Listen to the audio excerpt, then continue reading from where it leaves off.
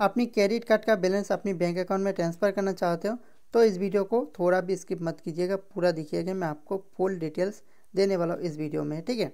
इस वीडियो को थोड़ा भी स्किप मत कीजिएगा वीडियो ज़्यादा लंबी नहीं होगा छोटा सा वीडियो होगा, ठीक है? सबसे पहले आपका जो भी पेटीएम है, उसको ओपन कर लेना है पेटीएम अकाउंट आपके पास होगा ही, ठीक है?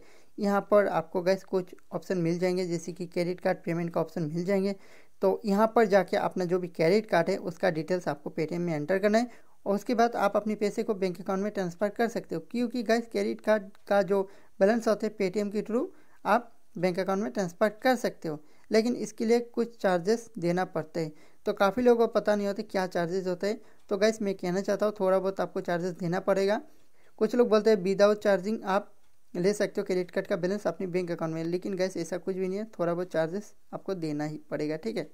सो मैं इस जगह पे अभी अगर गैस मैं आपको दिखाऊँगा जाके क्रेडिट कार्ड पेमेंट का ऑप्शन में क्लिक करके यहाँ पर ब्लैंक हो जाता है। स्क्रीन रिकॉर्डिंग नहीं हो पाता है, जिस वजह से मैं क्लिक नहीं कर रहा हूँ इस ऑप्शन में। इस ऑप्शन में जैसे क्लिक करूँगा, स्क्रीन काला हो जाएगा, ब्लैंक आएगा, ठीक है? इसलिए मैं स्क्रीन रिकॉर्ड करके आपको दिखा नहीं पा रहा हूँ बट आप लोग क्रेडिट कार्ड का जो पेमेंट का ऑप्शन है, यहाँ पर जाके क्रेडिट कार्ड का डिटेल्स एंटर करके आप अपनी बैंक अकाउंट में पैसे को ट्रांसफ़र कर सकते हो।